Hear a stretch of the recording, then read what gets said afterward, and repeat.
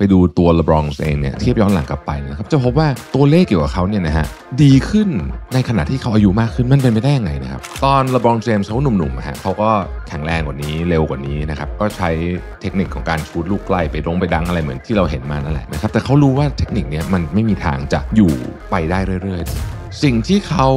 เปลี่ยนเนี่ยคือเขาเปลี่ยนวิธีคิดในการเล่น ซึ่งเราสามารถมาใช้กับตัวเองได้มาก ๆเลยนะครับ Mission to the Moon. Continue with your mission.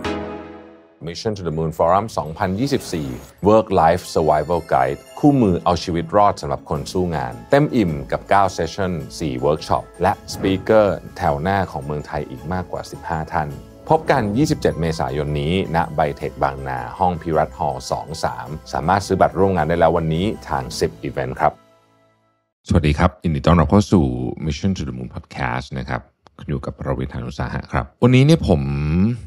ผมได้คล้ายๆกับเป็นการ์ตูนนะฮะแต่มันพูดเรื่องพูดเรื่องข้อคิดพูดเรื่องธุรกิจอะไรแบบนี้นะครับ ซึ่งซึ่ง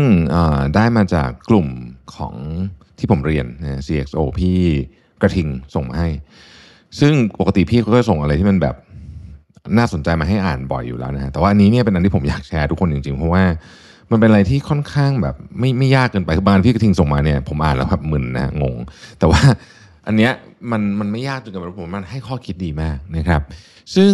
ผู้ที่เขา illustrate เจ้าตัวนี้เนี่ยนะครับ ชื่อว่า The Woke Salary Man นะฮะเดี๋ยวจะขออนุญาตโฆษณาหนังสือเขาให้ก่อนเลย เพราะว่าผมสั่งซื้อไปแล้วนะครับ รู้สึกว่าเฮ้ยเขาวาดรูปดีแล้วเรื่องเขาเล่าเก่งด้วยนะครับ หนังสือเขาเนี่ยชื่อว่า Crash Course on Capitalism and Money นะครับ เดี๋ยวผมขึ้นรูปไปให้นะฮะก็ ไปซื้อได้ที่ read tws นะครับ น่าจะเป็น read the work salary man ตัวย่อของเขา com นะครับ slash book นะฮะในนั้นก็มีอะไรน่าสนใจ เผื่อเข้าไปดูในเว็บก็ได้ โอเคนะครับ ในตอนนี้เนี่ยนะครับเขาพูดถึง สุดยอดนักบาสเกตบอลนะครับอย่าง LeBron James หรือว่าคิงเจมส์นั่นเองนะฮะซึ่งก็เป็นต้องบอกว่าที่สุดละของยุคนี้แล้วก็ต้องเป็นตำนานตลอดไปอย่างแน่นอน สิ่งน่าสนใจก็คือว่า LeBron James เนี่ยเพิ่งอายุ 39นะครับเต็มเมื่อประมาณเดือนธันวาคมที่ผ่านมา แล้วก็สิ่งที่แบบมันเจ๋งเกี่ยวกับคนที่อายุ 39เนี่ยคือถ้าไปดูสถิติของเขาเนี่ยนะฮะเขาเล่นดีมาตลอดเลย นะครับเผื่อใครยังนึกภาพไม่ค่อยออก 39เนี่ยถือว่าอายุเยอะมากนะครับสำหรับนักเอ่อกีฬา NBA นะครับ เขาเคยเป็นแชมป์ NBA เนี่ย4 สมัยนะครับ ได้ MVP 4 ครั้ง แล้วก็ NBA All Star เนี่ย19 ครั้งนะครับ stat ล่าสุดนะครับตั้งปี 2022ไป2023 เนี่ยนะครับ stat ล่าสุดเนี่ยนะครับ shoot ได้ 29 แต้มต่อเกมนะครับ assist 6.8 นะฮะ rebound 8.3 นะครับเราเล่นได้ 36 นาทีนะครับ พูดอย่างนี้อาจจะยังฟังดูแล้วว่าไม่มันเยอะหรือน้อยนะฮะเดี๋ยวผมเล่าให้ฟังนะครับเราพูดถึงเกมกีฬาบาสก่อนนะครับบาสเกตบอลเนี่ยเป็นเกมที่ใช้เขาเรียกว่า very physical demanding คือจริงๆ กีฬาทุกประเภทเนี่ยมันมัน physical demanding อยู่แล้วนะครับแต่มันก็จะมีบางอย่างที่อาจจะใช้ใช้ร่างกายน้อยกว่าบางอย่างบาสเนี่ยถือว่าเป็นอันที่เยอะที่สุดอันหนึ่งเลยก็ว่าได้นะครับเพราะฉะนั้นเนี่ยแน่นอนว่าเมื่ออายุมากขึ้นเนี่ยนะครับคนที่เล่นบาสเนี่ยนะครับก็จะมีประสิทธิภาพในการเล่นในสนามน้อยลงนะครับเลบรองเจมส์เนี่ยอายุ 39นะครับแต่ว่าค่ามัธยฐานเนี่ยนะครับ ของคนที่เขา retire นะครับก็คือเลิกเล่นของ NBA เนี่ยคือ 34 เล่นต่อมาได้ไงได้นานขนาดนี้ จริงอยู่นะครับแน่นอนแหละความสามารถทางด้านร่างกายเนี่ยมันสำคัญสุด ๆ เลยสำหรับนักกีฬา NBA ทุกคนนะครับแต่ว่าพอร่างกายมันอายุมากขึ้นนะฮะทุกคนก็แน่นอนว่ากระโดดได้น้อยลงนะครับวิ่งช้าลงนะฮะแล้วก็มีโอกาสบาดเจ็บมากขึ้นนะครับแต่ว่าเลบรองเจมส์เนี่ยน่าสนใจในเชิงของความพีค นะครับถ้าพูดถึงว่าจำนวนนาทีแล้วกันนะเอามิติเรื่องนาทีก่อนนะครับ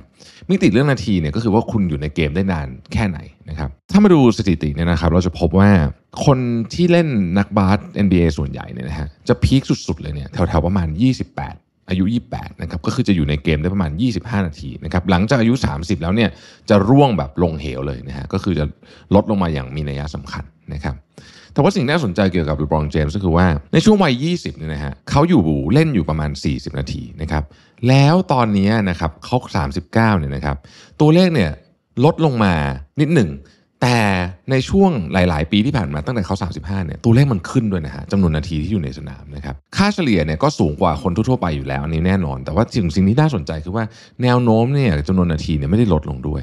นะครับ ไปดูตัวเลบรองเองเนี่ยเทียบย้อนหลังกลับไปนะครับจะพบว่าตัวเลขเกี่ยวกับเขาเนี่ยนะฮะดีขึ้นในขณะที่เขาอายุมากขึ้นมันเป็นไปได้ยังไงนะครับนะเรามาดูนะครับว่าแต้มต่อเกมนะครับอายุ18เนี่ยเขาได้ 27 แต้มต่อเกมนะครับอายุ 20 28เนี่ย26.8 แต้มต่อเกมนะครับแล้วก็ตอน 38เนี่ย28.9นะครับรีบาวนะครับตอน 18เนี่ย8.6 28 7.3 แล้วก็ตอน 38เนี่ยขึ้นมาเป็น 8.3นะครับ assist ต อน 18เนี่ย4.3นะครับตอน 28 8 แล้วตอนนี้คือ 6.8สำหรับคนที่ไม่ได้ดูบาสเกตบอลบ่อยๆเนี่ยก็ต้องบอกว่าเขาเขียนไว้เลยว่าอันนี้คือแบบ incredible คือตัวเลขมหัศจรรย์มากนะครับโดยเฉพาะเมื่อเทียบกับตัวเอง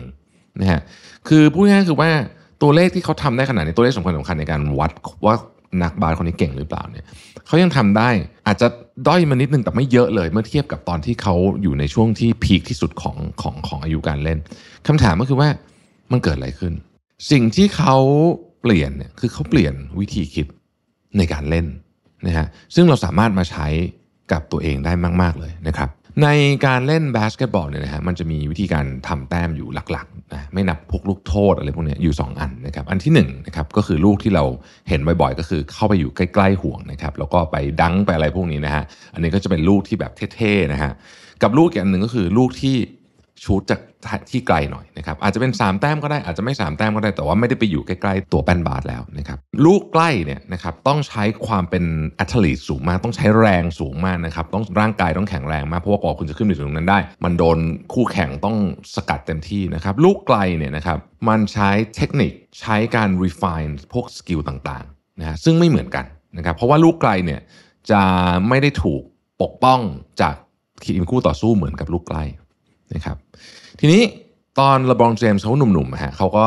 แข็งแรงกว่านี้เร็วกว่านี้นะครับเขาก็ก็แน่นอนฮะก็ใช้เทคนิคของการชูดลูกใกลไปดงไปดังอะไรเหมือนที่ที่เราเห็นมานั่นแหละนะครับ แต่เขารู้ว่าเทคนิคนี้มันไม่มีทางจะอยู่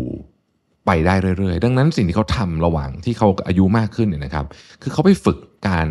เล่นลูกไกลให้ดีขึ้นนะครับ ดีจนถึงขนาดที่ว่าเขาสามารถที่จะพึ่งพาลูกไกลเนี่ยได้ ในเกมสำคัญสำคัญนะครับ ถ้าเราไปดูสถิตินะครับว่าเขาทำสามแต้มอย่างที่บอกนะคือลูกไกลเนี่ยมันไม่ต้องสามแต้มก็ได้แต่ว่าเอาว่าได้สามแต้มเนี่ยนะฮะของเลบรองเจมส์เนี่ยเป็นยังไงบ้างในช่วงวัย 30เนี่ยนะครับเขาทำได้ประมาณ 1.5 ครั้งต่อเกม ปัจจุบันนี้เนี่ยสองนิดๆ แต่ว่าจริงๆอะช่วงประมาณ 35เนี่ยเคยเห็นตัวเลขขึ้นไปถึง 3 ครั้งต่อเกมนะเกือบ 3 ครั้งต่อเกม ซึ่งถือว่าเยอะมากๆ มันเห็นได้ชัดเลยว่าเขาทำได้เยอะขึ้นเรื่อยๆนะครับเหตุผลก็เพราะว่าเขาเปลี่ยน วิธีการเล่นจากการไปโฟกัสที่ลูกใกล้มาเล่นลูกไกลมากขึ้น แล้วเขาก็เหมือนกับพัฒนานะการ shoot ลูกไกลนี่แน่นอนว่ามันใช้สกิลไม่เหมือนกับลูกใกล้แล้วเขาก็ต้องมาฝึกฝนสกิลใหม่แหละถามว่านักบาสทุกคนชูลูกไกลเป็นไหมชูดเป็นอยู่แล้ว แต่ว่าทำได้ดีขนาดไหน และดีขึ้นเรื่อยๆ เมื่ออายุมากขึ้นหรือเปล่าเนี่ยคือสิ่งที่เลบรองเจมส์ทำได้นะฮะนอกจากนั้นเนี่ยเขาต้องทำรีเสิร์ชเยอะมากเขาดูคู่ต่อสู้เล่นนะครับดูวิดีโอเก่าๆย้อนดู แล้วก็ศึกษาแต่ละคนนะฮะว่า แต่ละคนเนี่ยมีพฤติกรรมยังไงอะไรทำให้คนสับสนอะไรทำให้คนนู่นนี่ต่างๆนาวิธีการเล่นเป็นยังไงเทคนิคของแต่ละคนเป็นยังไงท่าไม้ตายของแต่ละคนเป็นยังไงเขายังไปดู scouting report ก็คือเวลาเขาจะซื้อขายนักกีฬากันใช่ไหมเขาก็จะมี report ของพวกในหน้านะครับเนี่ยไอ้ scouting report เนี่ยนะฮะมันจะบอกถึงความจุดแข็งจุดอ่อนนะครับแนวโน้มอะไรต่างๆ เกี่ยวกับตัวนักกีฬานั้นนะครับแม้ว่าร่างกายของเลบรองเจมส์แน่นอนครับจะถดถอยไปตามการเวลา แต่ว่า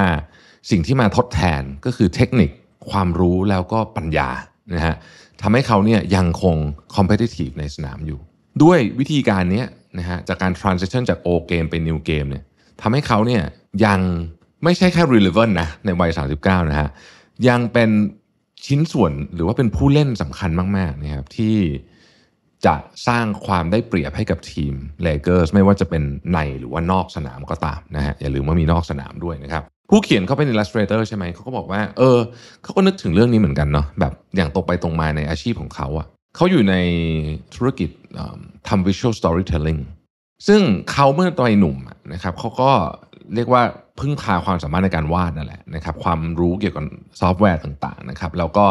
ความสามารถในการแบบอยู่มันแบบดึกดึกตีสองตีสามอะไรอย่างเงี้ยนะฮะแต่แน่นอนเมื่ออายุมากขึ้นเนี่ยคุณทำแบบนั้นก็คงจะไม่ไหว สิ่งที่เขาคิดก็คือว่าอ้าวเราก็จะ transition จากตรงนี้ไปได้ยังไงนะครับเมื่อเขาขยับเข้าสู่วัย 30 กว่าๆเนี่ยสิ่งที่เขาเริ่มทำคือ เขาก็ทำตัวเป็นเหมือน art director มากขึ้น มาให้ไกด์กับน้องๆ ในการทำ artwork มากขึ้นนะครับคิดถึงลูกค้ามากขึ้น ไม่ได้คิดถึงแต่ว่าจะวาดยังไงสวย แล้วคิดถึงว่าลูกค้าอยากได้อะไรนะครับไม่ได้แค่แต่ลงมือทำงานนะฮะเพราะฉะนั้นเนี่ยเขาก็มีคุณค่ากับองค์กรมากขึ้นในฐานะ art director เมื่อเขาอายุมากขึ้นนะครับ แต่ในเนี้ยเขาก็เขาก็เขียนทำนองที่ว่า แต่ว่าไอตอนวัยหนุ่ม มันก็ทำให้เขาได้เรียนรู้อะไรเยอะเหมือนกันเขาก็ไม่เสียดายที่ที่ตอนนั้นต้องทำงานหนักแบบนั้นเขาบอกว่าบางทีเขาคิดถึงการวาดนะ แล้วเขาก็เชื่อว่าเลบรองเจมส์เองก็คิดถึงการเล่นแบบเข้าไปประทะขึ้นไปดังอะไรอย่างนั้นเหมือนกัน เพียงแต่ว่าเขาก็รู้แหละว่าทำแบบนั้นเนี่ยมันจะมีผลเสียมากกว่าผลดีนะครับเพราะฉะนั้นเนี่ยบทเรียนจากเลบรองเจมส์เนี่ยน่าสนใจในแง่มุมที่ว่านี่คือการปรับวิธีคิดที่สำคัญ นะครับผมอยากจะแถมความคิดส่วนตัวไปนิดนึงแล้วกันนะคือในวัยหนุ่มสาวเนี่ยนะครับผมคิดว่ามันเป็นแบบแบบนั้นนะคือมันต้องมันต้องทำงานหนัก ด้วยหนักด้วยทุกอย่างเลยหนักด้วยจำนวนชั่วโมงด้วยเลยเพราะว่าร่างกายเราถูกออกแบบมาเพื่อรับงานแบบนั้นได้นะครับ เมื่อวัยเยอะขึ้นแล้วนี่มันไม่ไหวจริงๆ แต่ว่าในช่วง transition เนี่ยคุณต้องคิดให้ดีว่าคุณจะ transition ตัวเองเนี่ยยังไง เพราะช่วงนี้สำคัญคุณจะทำไงให้ value ของคุณเนี่ยเพิ่มขึ้นเหมือนที่ value ของ LeBron James เนี่ยยังเพิ่มขึ้นอยู่เสมอนะฮะคือจริงๆเนี่ยไม่ต้องพูดถึง value ในเชิงตัวเงินนะครับเพราะว่าเขาแบบซูเปอร์โคตรซูเปอร์สตาร์แบบสุดๆอยู่แล้วเนี่ยแต่เราพูดถึง value ในแม้แต่กระทั่งในสนาม นะฮะคือตัว LeBron James จริงเลิกเล่นบาสก็ได้คือเลิกเล่นบาสก็ยังยังโอ้โหแบบหารายได้จากจากสปอนเซอร์จากอะไรไปได้อีกนานมากๆเลยเนี่ยนะฮะเพราะว่าเขาคือแบบตำนานจริง ๆ แต่ว่า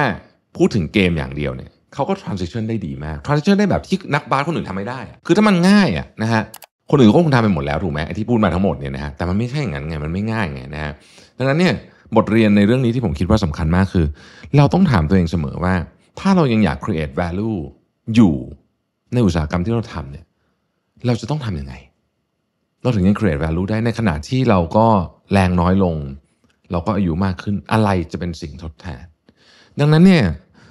ถ้าเกิดว่าเราอายุมากขึ้น แต่เราไม่มีปัญญาไม่มี wisdom เพิ่มขึ้นมาเลยเนี่ยนะครับมันก็อาจจะแปลได้ว่าเฮ้ยเราอาจจะสร้าง value เพิ่มไม่ได้ เมื่อนั้นเนี่ยความอายุเมื่ออ้าของเราก็จะเป็นตัวทำร้ายเราเองแต่ถ้าว่าเราเปลี่ยนวิธีคิดได้แบบที่ตัวอย่างเล่าให้ฟังวันนี้เนี่ยนะครับผมคิดว่ามันก็จะช่วยให้เราเนี่ย มองการทำงานต่างๆ ในแง่มุมที่เปลี่ยนไปได้เยอะมากนะครับมันมีเรื่องเยอะนะถ้าพูดถึงดีเทลว่ายังไงเนี่ยแต่ว่าอันหนึ่งที่ผมคิดว่าสำคัญเลยคือความใส่ใจกับรายละเอียดเล็กๆ น้อยๆนะครับการติดตามงานของเราเมื่อเรารับปากใครมาแล้วนะครับการ deliver งาน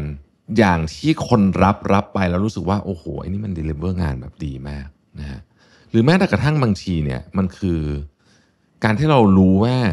อะไรสำคัญกว่าอะไรเนาะคือชีวิตแล้วมันยุ่งอะงานมันเยอะเนี่ยพวกเนี้ยผมว่ามันเป็นสกิลที่ต้อง master ขึ้นเรื่อยๆ คือเราต้องเก่งขึ้นไม่ใช่ทุกปีทุก 6 เดือนเราต้อง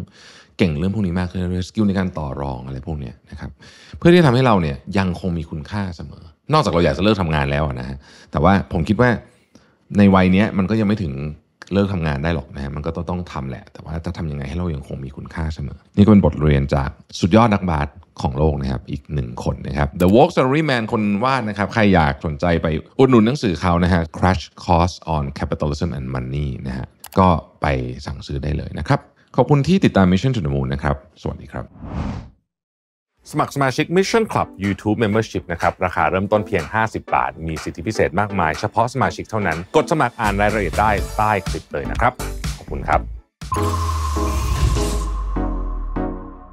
Mission to the Moon. Continue with your mission.